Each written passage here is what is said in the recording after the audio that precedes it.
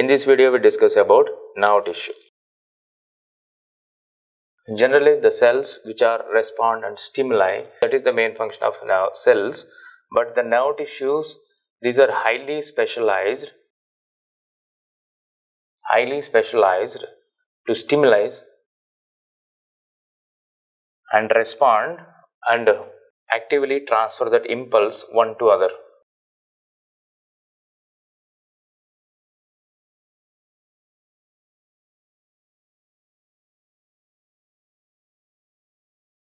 One to another. This is the nerve tissue. Origin of nerve tissue ectoderm. Composition of nerve tissue neuron and neuron and neuroglia cells. So very important is neuron structure. We'll draw the neuron structure. Start with first neuron is the neuron diagram. The neuron is composed with the cyton. Cyton means cell body also called soma cell body and also axon part with axon filament and dendrites. This is the neuron. Nerve tissue means combination of neuron and neuroglia cells. Neuroglia cells are astrocytes, oligocytes and also microglia cells are there.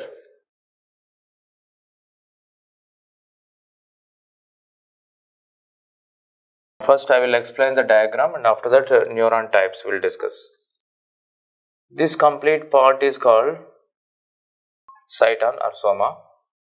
So this complete part is called axon and this one is axon filament that means terminal bulbs with with the terminal bulbs. And this is dendrite nucleus. These are Nissl granules. This Nissl granules also called fragments of RER RER Nissl granules are also called fragments of RER that means rough endoplasmic reticulum. This one is myelinated sheath. That means myelin sheath which is composed with cells called Schwann cells. Schwann cells which are from the Schwann cells also called oligodendrites. This means these oligodendrites also called Schwann cells. That means and there is a gap here. This gap it is called nodes of Ranvier. So this is the complete diagram about neuron. One more thing. Oh, these are axon bulbs. This is the complete neuron diagram. Neuron types now. Based on the neuron types, the nerve cells also, uh, nerves also will be three types. Based on neurons, these are